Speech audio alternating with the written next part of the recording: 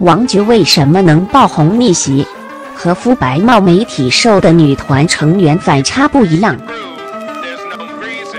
当一个与众不同的女演员突然爆红，不是因为她有多么优秀，而是实在是观众和粉丝对于同样风格的明星审美疲劳了。比如王菊的爆红就是明证。近日，某综艺节目的选手王菊因为在节目中的表现，引发无数网友为其打 call。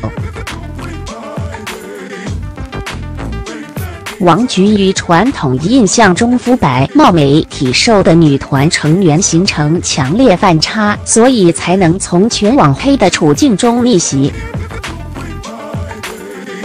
如果你还没有成为一个局外人，那么你已经彻底沦落为网络热门话题的局外人。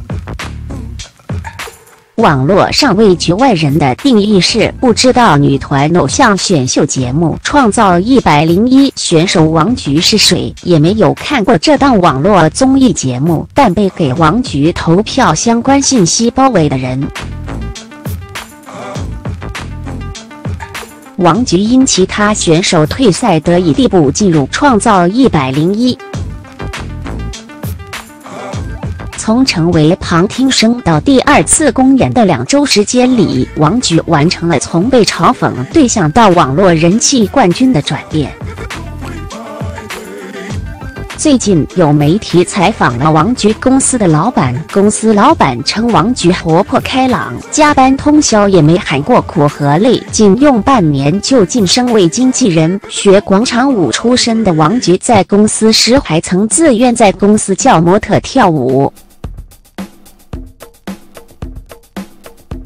对于是否炒作的问题，老板耿直地表示：“我们也是想的，但是公司想炒作炒不了那么大，这至少得花个几亿，没有这个能力。”